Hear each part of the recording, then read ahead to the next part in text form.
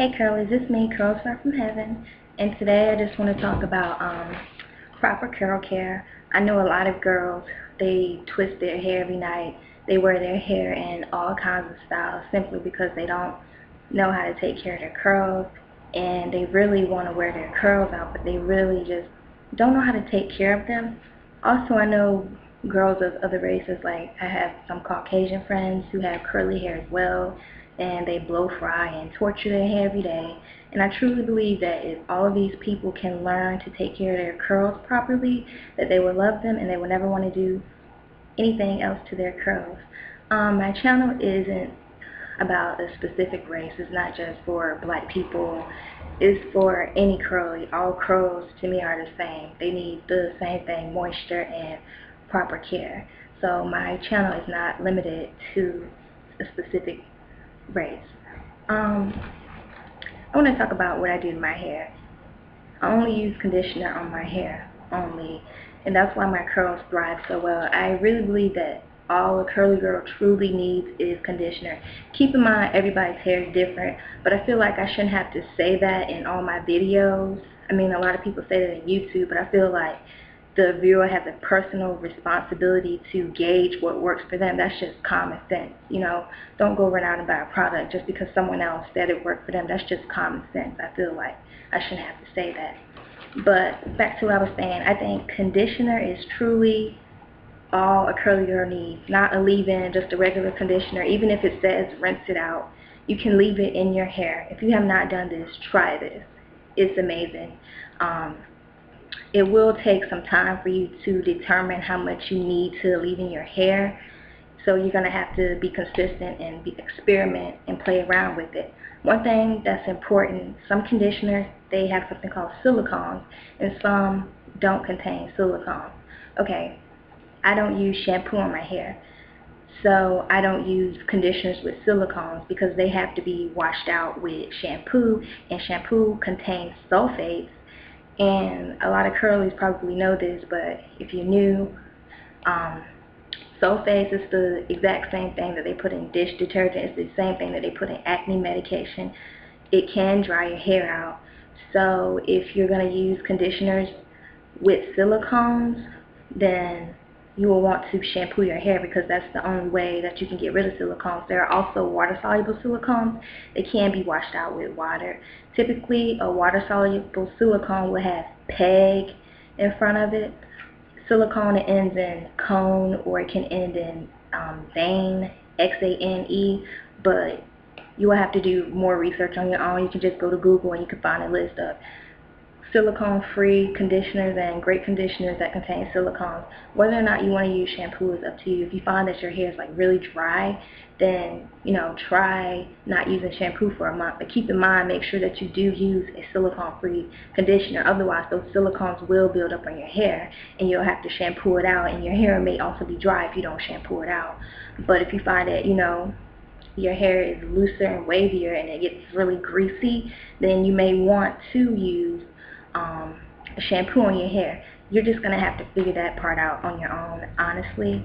Um, pretty much, it doesn't matter what brand of conditioner you use. For me, all conditioners work the same. They serve one primary purpose, to condition your hair. Think about it. When you shampoo your hair, right, it gets dry. And you put the shampoo, the conditioner on it, and it becomes soft. If you get a perm a relaxer, if you color your hair, if your hair is damaged, you notice that like if your hair was damaged and you went to the salon, what do they do? They give you a protein treatment, a protein conditioner treatment, correct? If your hair is damaged, what would you do? You would get a deep conditioner, correct? Um, same as I was saying about the perms, relaxers, and hair dyes, they all come with conditioner for you to put on your hair after you diet or whatever because it can be damaging to your hair. So think about it. Conditioner is great. I truly believe conditioner is the only thing that you need to use for moisturizer other than water. And it doesn't matter what brand you use, but all conditioners, they have different consistencies. Like cheaper ones like VO5, they are more watery. So they wouldn't work for my tightly curled hair. I need something that's thicker, something with hold. Also, I use gel. So if you like to use gel and you just started using the conditioner only, you have to be aware of the fact that not all conditioners work well with gel and I will make a separate video later if someone requested on conditioners that I've used and I can tell you um, whether or not they flake up and whether or not they work. Also, if you don't give the conditioner time to properly absorb into your hair, that also may be a reason for your hair having flakes in it. And um, the most important thing that I really want to talk about is, I can't stress this enough, patience and consistency. It takes time, patience, and consistency in order for you to be able to see results in your hair. I'm consistent with my hair care. I never do anything to break my hair off. I handle my hair very delicately. Curls are delicate. I don't care if they're loose. I don't care if they're tight. Tight curls especially are fragile. Like my hair may look thick but it's actually baby fine. So I take really good care of my hair pretty much um, if you saw my other videos, I'm over this term wash and go because I don't really wash and go. The only thing that I do to my hair is I deep condition, rinse it out, I detangle, and I add more conditioner as my leave-in and gel because I personally like gel, but you do not have to use gel on your hair if you do not want to. And as I'm detangling, I'm adding the conditioner. And that's the only things I do to my hair. It's really simple, but it does take time and patience. A lot of times people will go to YouTube and they look at someone's video and they admire the results of their hair and they're like, okay, I'm going to try that. And they find out that it doesn't work for them, so they give up after the first try.